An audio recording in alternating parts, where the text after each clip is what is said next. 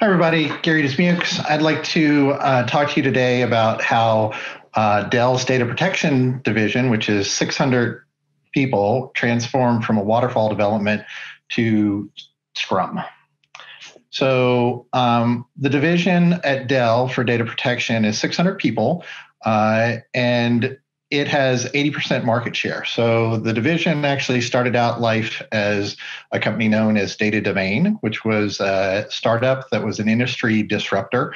Uh, there's a book out there, if anybody's interested, called Tape Sucks. So uh, Data Domain was the first uh, solid state backup uh, company there. Uh, so we uh, quickly gained dominant force in the market, and we've maintained that for the past 20 years.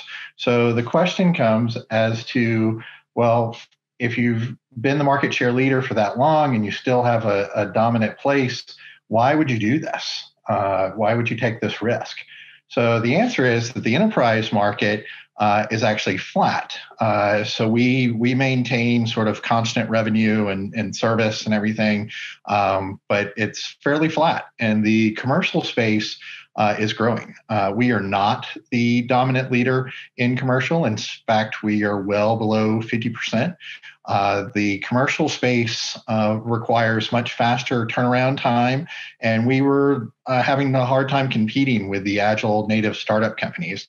And then with the advent of cloud technology, it was actually blurring the lines between the enterprise and the commercial, and it became a, a huge risk factor that the, the agile native startups were going to start eating into the enterprise market space. So it, it actually wasn't a risk, but whether uh, rather a necessity to uh, to make this leap. So um, I used to be the engineering uh, program manager. I was the lead program manager of this, uh, and so they asked me to sort of transform and become uh, the agilist to help lead the team uh, forward into this transformation. So we chose Scrum at Scale. Uh, we had um, some uh, an investor that's very close to uh, Jeff Sutherland and uh, Scrum at Scale. He he sort of shepherded us this way.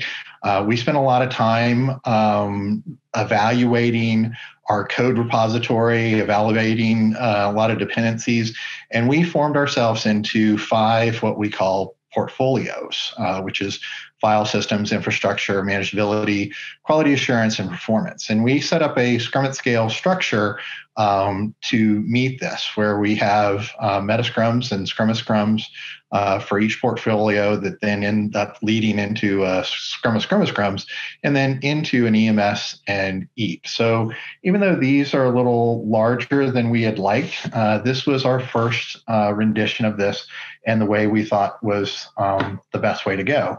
So we took about six, eight months trying to figure this all out, the structure and everything. We actually had two sort of critical releases for the business that uh, we were too concerned with uh, disrupting that needed to get out. So uh, after getting those two releases out, which were our last waterfall releases, um, in September of 2009, we pulled the pulled the string and said we are now a Scrum at Scale uh, team and working in working in Scrum going forward. So that so then with a company this size and this big sort of big bang transformation, you may be asking, well, how did you operationalize all this and make all this happen? Uh, we ended up forming an agile practice. Uh, and with that agile practice, that's I facilitate that. Uh, we ended up reaching we're seven seven geos, and we pulled from each portfolio, each geo, uh, one team member, one leader. So we focus on creating best practice guides to sort of give uh, operationally what people would do for different sort of aspects of their job, how to do bug management, how to do um, you know the best process in Jira. Uh, lots of best practice guides to help our teams. Uh, we spend time coaching. Uh, we've also set up uh, community of practices for both Scrum Masters and engineering managers, where we spend time with training and extra support and ongoing um, communities to help uh, the the team as we transform, and we're also the DevOps interface where we we're the ones that sort of approve any tool changes that may need to happen across our organization, and then we work with the DevOps team uh, to enable those. So. Um, at Dell, we we like to talk about uh, the five P's. We've been doing this for 15 months. So when we measure ourselves, we look at product, people, process, partners, and potential. So um, here's how we've sort of done. And you can see we've made a lot of progress in the last 15 months.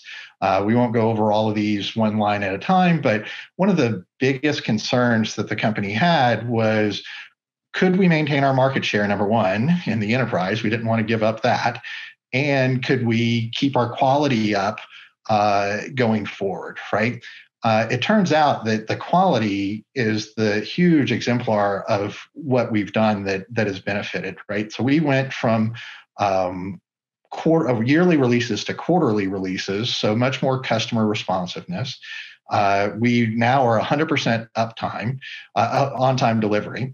Um, the, the quality numbers are deferrals, meaning the bugs that we knew about that we released to the field, they've dropped by 94%. And that ends up being a direct result into our customer found defects have also dropped 60%, which enables our team members more time, less interrupted. So they actually have more time to develop, right? And then our customer found uh, time to resolution has decreased by 77%. This is from the time a customer reports a problem till we respond back with a um, with a resolution, we are 77% faster. And then our system availability out in the field has increased from three nines to five nines. So, uh, how did we do it with people? We had lots of sort of different communications and uh, things like that. One of the things we did that was a lot of fun was back in COVID, March Madness had to be canceled. Uh, so we established a game to help people learn how to do uh, story writing, uh, which we called Scrum Madness. And we had a competition with all of our our teams of who could produce the best stories. So it was a lot of fun and an engaging way for teams to sort of catch up to what we were doing. In terms of process, we've changed just about everything. So there's not there's not hardly anything that we left uh, untouched. But one of the things I wanted to highlight, uh, we actually eliminated our project management team and eliminated our sustaining our dedicated sustaining engineering team. A lot of times in an agile transformation, it's not about what you're adding, but what you're taking away to to really uh, change into agile. And this we we didn't actually lay off a single person. We were able to repurpose these team members into uh, roles that were here. So we didn't we didn't have any mass layoffs or anything like that. Uh, certainly, to do this, we had to partner with our, our global program management team, which interfaces to our uh, our cross-functional teams like manufacturing, go to market. This was a big change for everybody. The way we did business from changing from a year-long release to a quarterly release. How does that work? We had to have different corporate quality metrics. Uh, so we worked with our corporate quality team, service and support. This was all new for them too, to constantly be putting four releases out a year versus you know maybe one. Uh, and then potential. So we when we look at we've done a lot, we've come a long way, but but we have so much more we can do, right? So right now we're actually in the midst of reevaluating our structure. We're again examining our code currents, our code base to see uh, what we could do uh, better, how we can better align our teams for faster flow.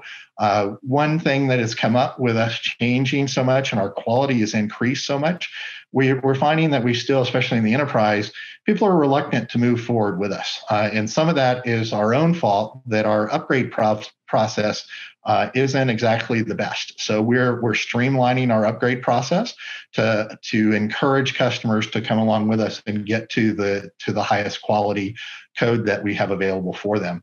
We're working on continuous automation.